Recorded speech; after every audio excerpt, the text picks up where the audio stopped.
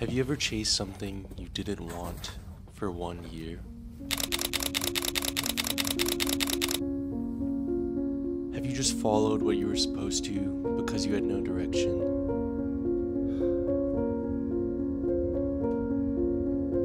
Start a new chapter you never wanted to start? Be in an environment where working long hours, doing what you're told, and putting in elevated effort is normal because everybody here loves doing their job?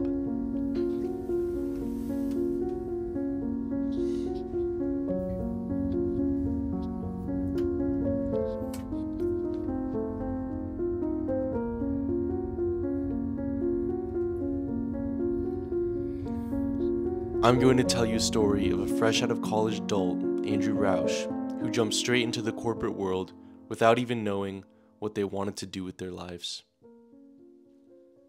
Growing up, I always wanted to do something with YouTube. Hey, this is Lego SSJ1 Goku 2000, and I'm doing a tutorial on Lego Gohan Super Saiyan 2 hair out of hot glue. Or something online. There's a pistol! No, it's race for the pistol! Help, guys, he got it! Where are you? Where are you? Oh, okay. You've axed him to death. I juked him! I got him down with the grenade! Guys, I t- a three grenades versus a pistol. The grenade always wins.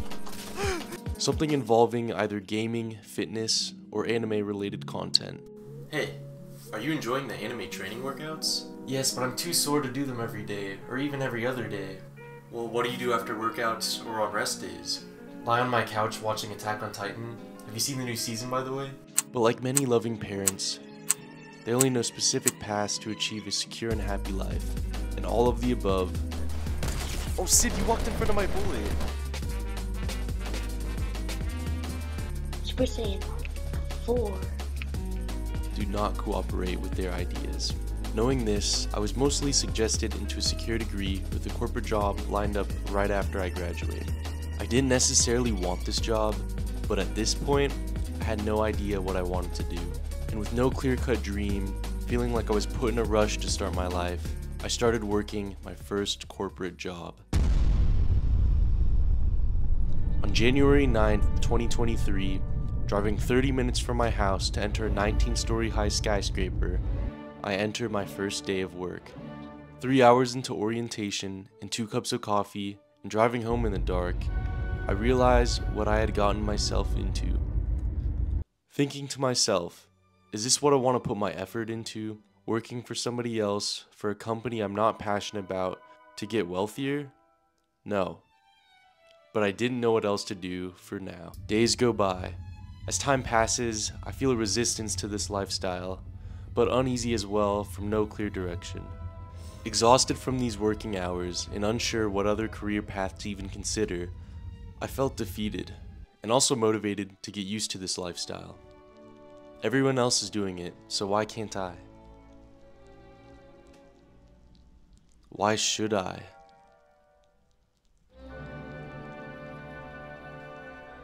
I had a choice to make. Either stay here, somewhere I didn't have any reason or purpose to be at besides somebody else's opinion of me, or to quit. To quit because it was simply hard, because I was tired, because I couldn't handle the pace, because I couldn't learn a new way to live. It was truly a sink or swim scenario. I could sink into the depths of myself, the darkness of quitting, never learning what I would be if I stayed, if I pushed through, if I learned what true discipline is for me. Where I can't call in sick every time, where I can't have the luxury of time, where I have responsibility, where I'm consistent not by choice. I could drown and lose those opportunities, or I could swim. I could rise above myself, push the easy way out, push the negative thoughts out of me. Simply fight, even without purpose. Just fighting myself for fighting's sake. Conquer myself and truly learn how to adapt through moments like these. I chose to stay, and I didn't know how much this decision would change me. I was searching for something, maybe validation from my parents, doing this because it was a safe path. Just money at first. I wasn't sure myself.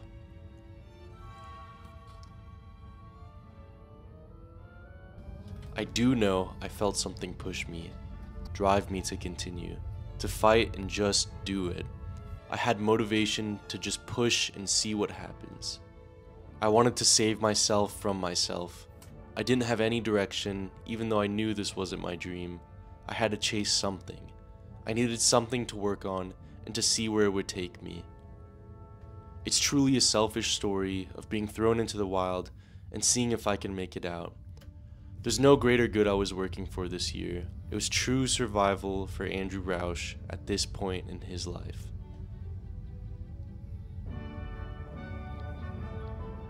The motivation and drive came from who I am and who I want to be like. At the later years of my college career, I was interested in philosophy, specifically Stoicism. Understanding these struggles were intrinsic and that I could change my thoughts and attitudes to my work. It pushed me. I also had a sense of wanting to make my parents proud. They gave me the blessing of paying for my college, so the least I could do is try for this career they wanted for me. This decision marks the beginning of the most important chapter of my life up until now. I chose to stay, to challenge my old ways, my old lazy ways full of excuses and false discipline. I thought I was disciplined because I could work out, but I had dozens of extra hours to play with weights. Now in the corporate world, every second matters, or you'll just waste your time. It's hard to change so instantaneously. To challenge the 3 credit hour final semester with 40 hour work weeks plus 5 to 10 extra hours involving commute, getting ready for work, and putting everything up from work. But what would I achieve if I stayed in my old ways? I could get an easy job and mooch off my parents for eternity if I really wanted. But is that the person I'm trying to be? While working, I noticed in the back of my mind something is missing. Something about working hard both inside work and outside work through self improvement plus stoicism. Something is missing at the end of the day. A feeling I wouldn't quite grasp for a while. Despite that missing feeling, I had enough internal and some external motivation at this point to understand I am in this corporate world. So I better make the most out of it and train myself in whatever way I can to handle it. I invested everything it took to prepare myself for the 8 to 5 hustle, the structure, the pressure, and the stress. All of it I needed to prepare myself for. I started with cold showers. Cold showers in the dead of winter. The one thing I kept for the longest time was these. My Hail Marys, my best friend, the old reliable. Freezing, cold, wake you up, and challenge you before you can even think of a full sentence type of environment. These will consistently give you discipline. If discipline was an item you could purchase, cold showers were a preferred payment. Of course, we didn't stop there. This was the first major victory of each day, but there was more to learn. I started planning my work days in the morning. I worked out during my 30 minute lunches, Andrew Huberman podcast driving home, and I diligently prepared my lunches and dinners for upcoming days so I never had decision fatigue. Everything was going as planned. I seemingly perfected my hours, which turned to days, which turned to weeks. It felt like I was finally grasping this lifestyle. But through optimizing every hour of my life, some feeling was moving deep within my subconscious, something I couldn't quite bring to my conscious mind. One night after a long day of cold showers, a full workday, commute, meal prep, I decided to watch something fun on YouTube for once. Sloth, an interesting character in my life. I've always been a lazy person at heart, constantly groaning at work I have to do, and always taking in the path of least resistance when I could. But hey, it's been a while since I indulged in some entertainment, so I thought, why not stay up just a little late to enjoy myself? It slowly weaves itself into the quiet moments of my day, like a whisper of an exciting promise, establishing itself as an innocent habit at first. But then, it becomes normal.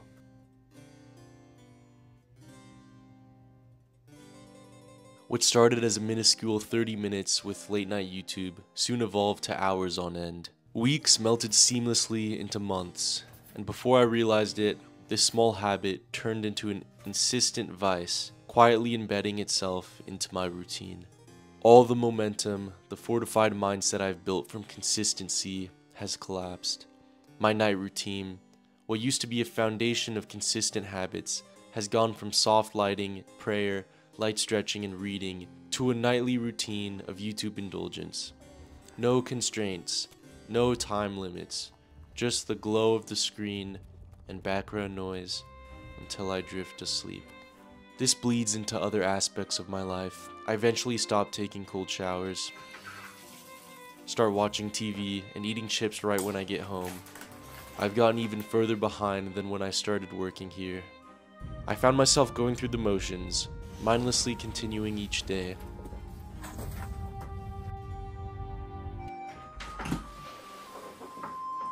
Contentment, a deceptive force driven by consumption, blinded me just enough to veil the deeper issues I didn't want to confront.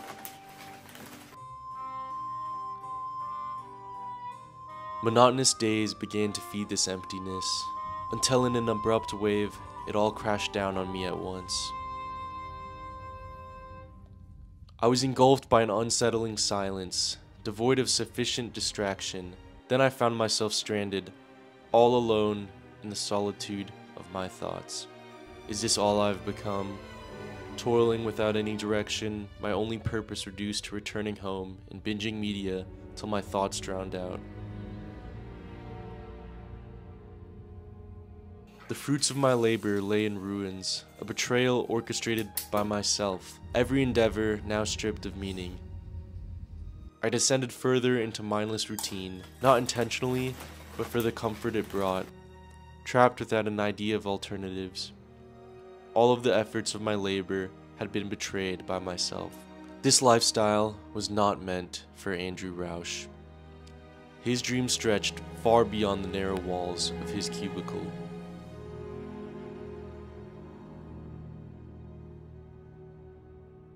With too much silence, I felt an overwhelming desire for noise.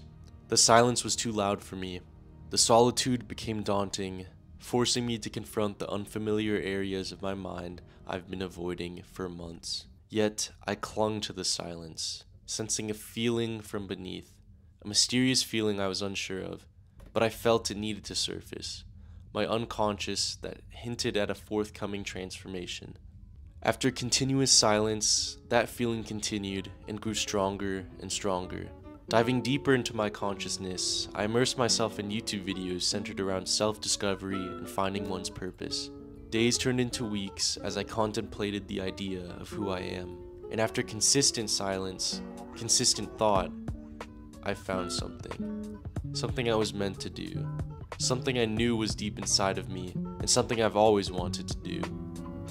I wanted to start a YouTube channel. What type of YouTube channel, I thought. How about one for people like my past self? People who are so lost in their devices, lost in consumption, lost in doing things mindlessly, even work. But a current of doubt flowed into me. Was I truly capable of this endeavor? Do I have anything of value to offer? The weight of external judgment loomed over me. What will others think of me? Will they think I'm stupid? Will they think I'm going to fail? Uncertainty gripped me, threatening my aspirations. Engaged in an internal struggle that spanned for months. On one front, I was yearning to resign from my corporate job and wholeheartedly delve into YouTube. In reality, the weight of those thoughts would eat at me, creating self doubt and a yearning for escape. Drowned with work related stress, I lost sight of my true identity. The relentless demands of my job clouded my thoughts, nourishing a desire to quit both from the workplace grind and the hesitations about embarking on a YouTube venture. The dance between these opposing forces left me in a state of indecision, my aspirations buried beneath the weight of external pressures. My parents became an anchor for me, preventing me from impulsively abandoning my job. In moments of despair, when quitting seemed like the only plausible solution, they guided me back to reality empathizing with my struggles while rekindling the flame of my aspirations. Even though they didn't fully understand me, it was still nice. This brought me back to the moment I remembered my dream. A dream I had almost let slip through the cracks of self doubt and external judgments. I decided to let go of the fears of judgment, Understanding others might not comprehend a path they hadn't witnessed or an aspiration that they couldn't see. I had to grow this dream from within. I started a journey of self preparation to work consistently and achieve this. As responsibilities at work continued to grow, the task of organizing crucial documentation for my team before I leave and organization shifts at work made a lot of unwanted change and difficulties, intensifying the challenges I faced. Wanting to change to this chaos, I went back to my roots. I started listening to motivational tapes.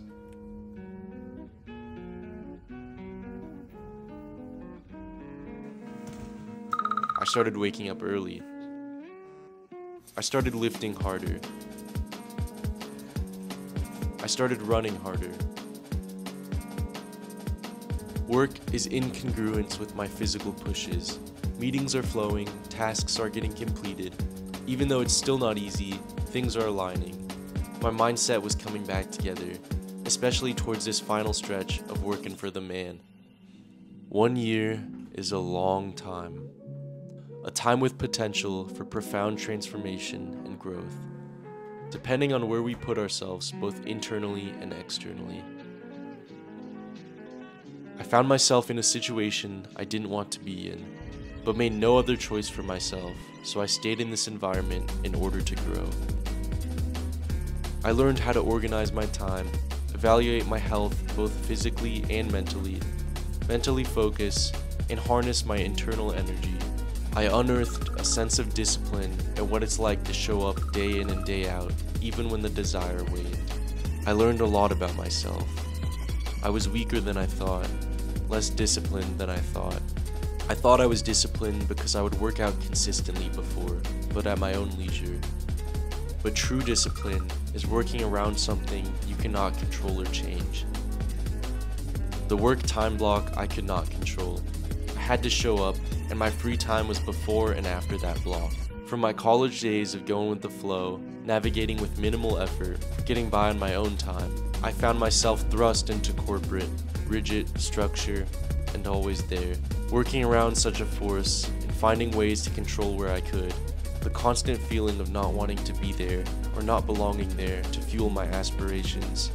But not only driving that dream out, I began to forge it. I realized the skills I need to learn, the sacrifices to achieve that dream. The reality of the trade off unfolded before me the secure job with potential to grow in the company and consistent pay or an audacious pursuit of a dream filled with uncertainties that loved ones may not understand. But I was ready to embrace that risk. Throughout this year of transformation, the sheer magnitude of change, pain, growth, motivation, and relentless discipline I unearthed surprises me. If I could channel this effort, this unwavering energy, into a singular focus of my genuine passion for an entire year, with unwavering conviction, I believe I can achieve remarkable accomplishments. Have you ever started chasing something you wanted for one year?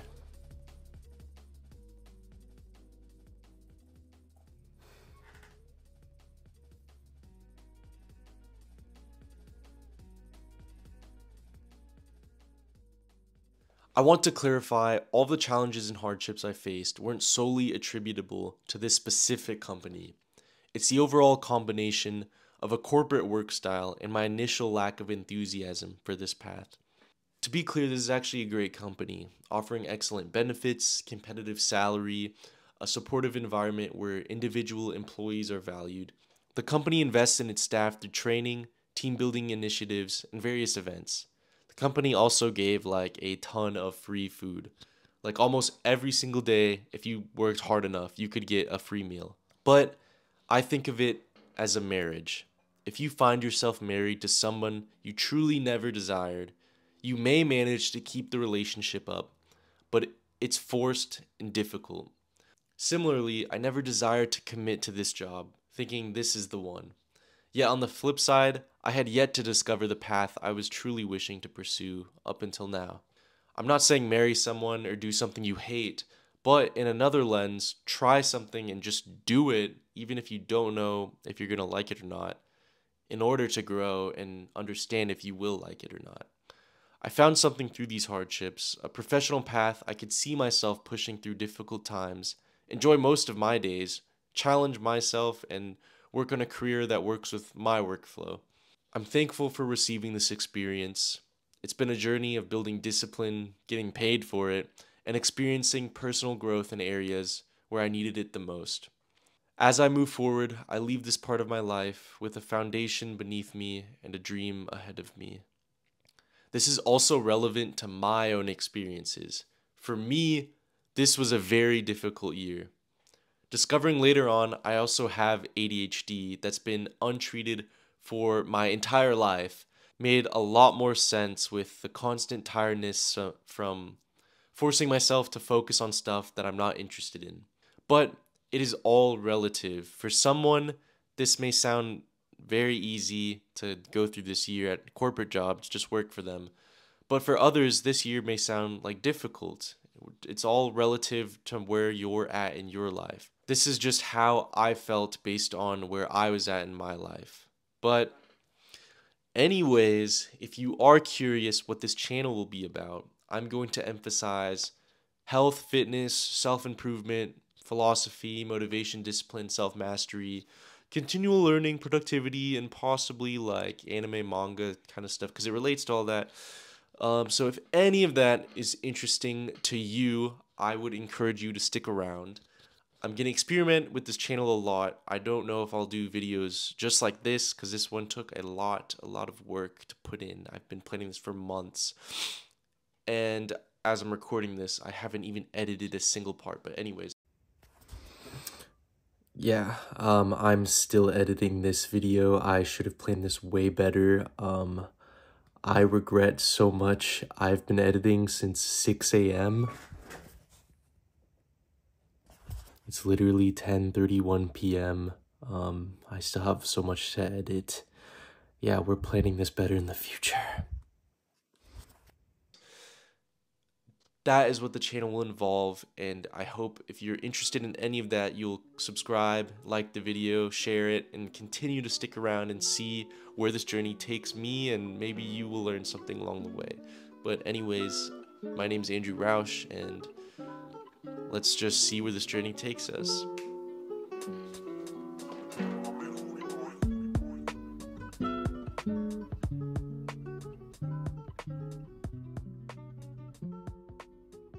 just check out part two, okay? Rate, comment, subscribe, Lego SSJ1 Goku, and